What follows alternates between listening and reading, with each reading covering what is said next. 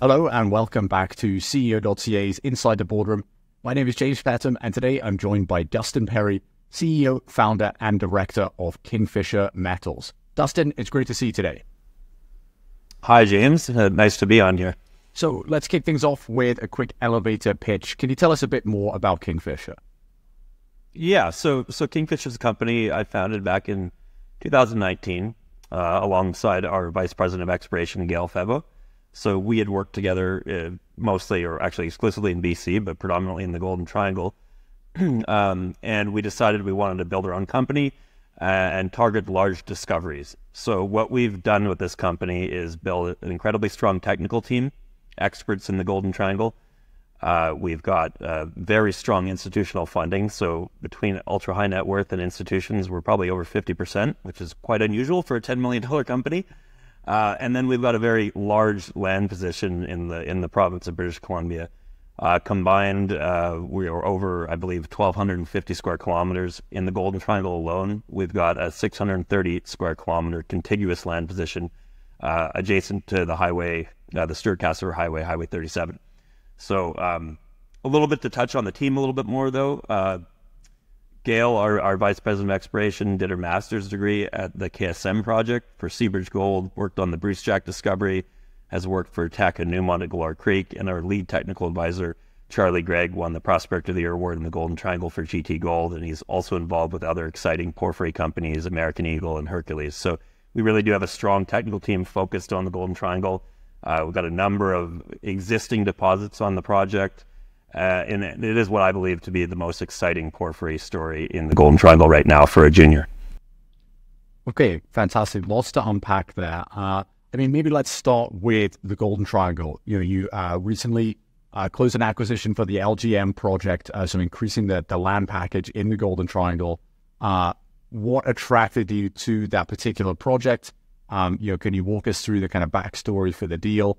And maybe paint a picture of what it's like to be operating in the Golden Triangle uh, right now in, in 2024.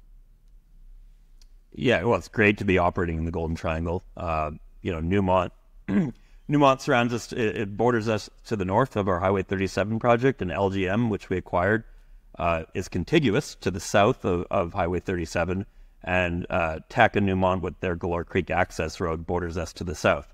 So we've got great neighbors. Uh, we're also next to the highway and the power line, and and what we've seen is a, a, big push for major interest in the Golden Triangle with with Newmont's acquisition of Newcrest. But previous to that, you know, they they picked up GT Gold and had invested in that in that company prior to the acquisition. So majors like this area. Tom Palmer, in a recent interview at, at the BMO conference earlier in the year, uh, noted that they'll be mining in the Golden Triangle for the next hundred years, and, and, I'm not sure if they have enough uh, feed from the current mines to do that. So there's going to need to be more discoveries, and uh, we're in a great spot to make more discoveries. So we picked up LGM because it was next door. It had similar geology.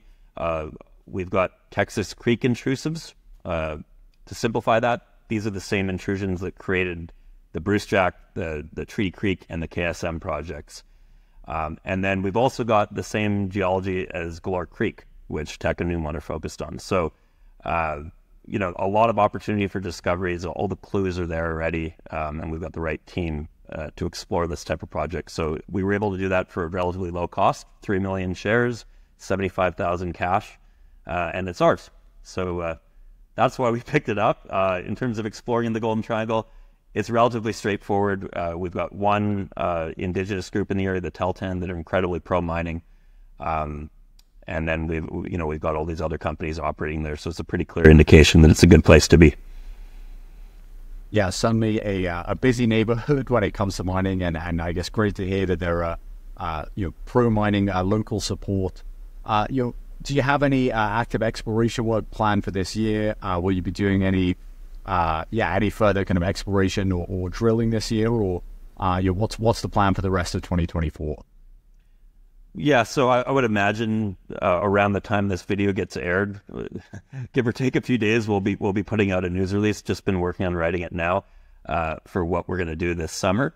Uh, we don't know the entirety of what we're going to do. We can tell uh, we can we'll be able to say what we're going to start with, um, and I would just say stay tuned for that information. Uh, but the key will be to drum up some new targets and really refine the existing targets on the project. So there are deposits on our Highway 37 project already that have excellent grade. Uh, you know, Williams was a recent porphyry discovery, 2018, where they drilled 0.33 copper and 0.39 gold over uh, 350 meters. So there's already good results. Uh, the Hank, the epithermal system, they drilled 20 meters of 12 grams or 9 meters of, of 16 grams gold equivalent. So we've got a lot of meat on the bone already, but we're going to look at how we can find where previous operators missed on these, but also what might be driving these with large porphyries underneath. Um, so that's you know the work we're going to do is going to lead towards drilling those, um, and uh, and I, I, hope we can come up with some excellent targets here. Yeah, well, looking uh, looking forward to those updates. Uh, I guess you know it's been a strong year for commodities so far. You're both copper and gold uh, you know, testing all-time highs. Uh, you know, what's the environment like for juniors at the moment? Obviously, uh, you're a bit of a lag often between commodities and the underlying equities, but feels like we're starting to, uh, you know, maybe turn a corner from you know a couple of years of, of tough markets. What's your outlook for the junior sector at the moment? I think uh, you know I agree. There's definitely a lag. the outlook is very promising over the next few years for quite a long time. Uh, when it turns and you know we see a premium coming back to these juniors, I don't know. Luckily, we've got very supportive shareholders, and we've been able to raise very good money in really good institutional hands. So we have been able to survive. We did complete a rollback of share consolidation earlier in the year. Um, it's kind of a reboot of the company um, and really focus on the Golden Triangle now. So I would say for us, uh, we're taking things, we're not going to go totally dilute the company right away. Uh, for other companies, some are struggling though for cash, uh, which is why we were able to do deals like this uh, recently for a low cost. Uh, some companies uh, don't have the same support of shareholders. Maybe they're more retail based, and retail hasn't really come back into the to the foray yet. So I would say it's challenging, but it looks very optimistic going forward with the you know bullish outlook for copper and gold. Uh, and what better place to be in the Golden Triangle where you've got you know a safe jurisdiction, supportive indigenous groups, major miners playing around, and then the two analogs we have on our project would be Galore Creek and KSM. And KSM is the largest undeveloped gold deposit in the world, third largest undeveloped copper deposit. I think Galore Creek would just be off the top 10 on, on largest undeveloped copper deposits. So these are huge systems, and we've got the right geology and team experience in them, um, and a very low valuation. So I would say it's there's still compelling stories right now, despite how beaten up everything is. Yeah, lots of uh, lots of uh, I guess valuable kind of components there in the company. You know, green flags for retail investors to look out for. Uh, I guess just to wrap up, you know, is there anything that you know we haven't touched on? Uh, anything that retail investors or, or, investors more generally should be keeping in mind uh, when they're looking at Kingfisher Metals, uh, and you maybe what what sets you apart from some of your competitors, both from the project stage and maybe other competitors in the Golden Triangle. So I would say project stage. Uh, what sets us apart is just the evidence already. Having three deposits on our project with grades over 200 meters gram equivalent uh, gold 200 gram meters gold equivalent. You know, that's pretty unusual for a single project.